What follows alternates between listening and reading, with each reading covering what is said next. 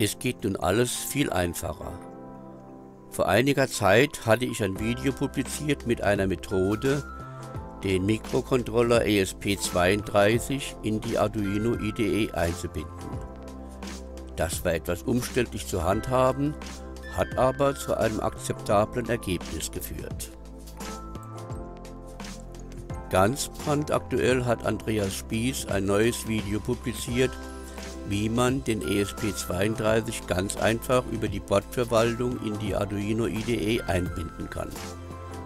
Andreas hat in seinem Video, das man sich unbedingt ansehen sollte, man könnte auch an ein Abonnement denken, alles sehr ausführlich erklärt und gezeigt, so bleibt mir nur die Aufgabe, den direkten und schnellen Weg zum Erfolg zu zeigen.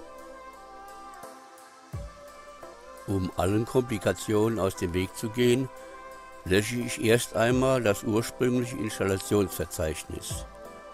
Zu finden ist das im Arbeitsordner der Arduino IDE.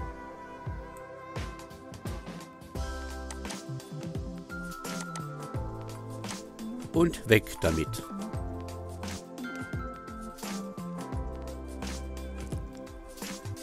Danach öffne ich die Voreinstellungen. Da gibt es ein Feld, in das ich URLs für weitere Bordverwalter eingeben kann. Unterschiedliche Adressen werden durch ein Komma getrennt.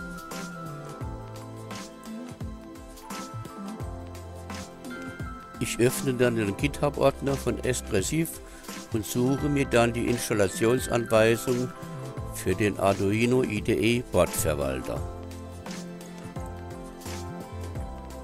Dort finde ich dann die Adresse, die ich in den Voreinstellungen eingeben kann.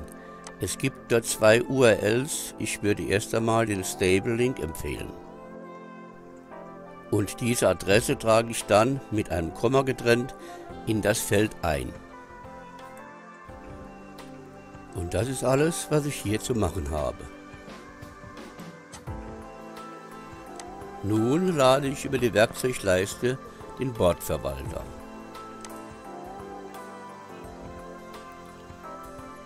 Hier gebe ich als Suchbegriff ESP32 ein. Es sollte nun die Installationsdatei für die ESP32-Boards erscheinen. Diese wird installiert und dann ist auch hier die Arbeit abgeschlossen.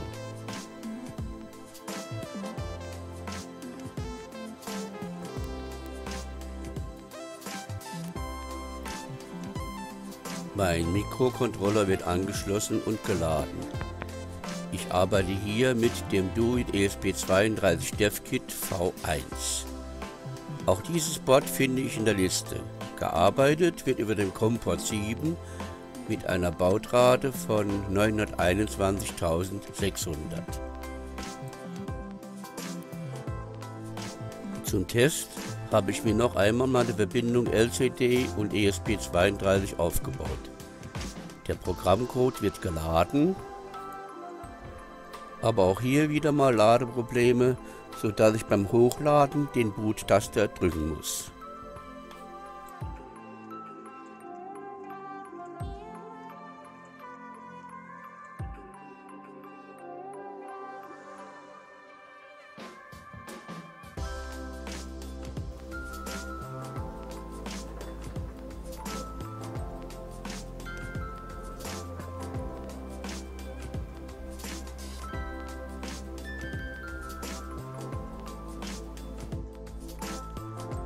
Hier habe ich nun noch einmal alle Schritte zusammengefasst, die zu einer erfolgreichen Installation des ESP32 in die Arduino IDE führen sollte.